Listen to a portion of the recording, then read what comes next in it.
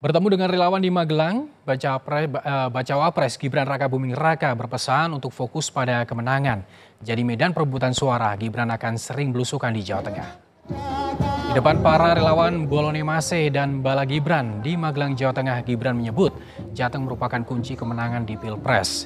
Gibran pun akan lebih sering belusukan, bahkan 60 persen kampanye akan dilakukan di Jawa Tengah dengan harapan bisa menang satu putaran. Gibran menilai Jateng akan menjadi medan pertempuran untuk meraih suara di Pilpres 2024.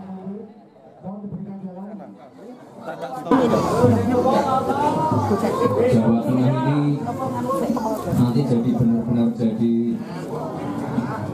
medan pertempuran. Mungkin nanti saya 60 persen berusuhannya ada di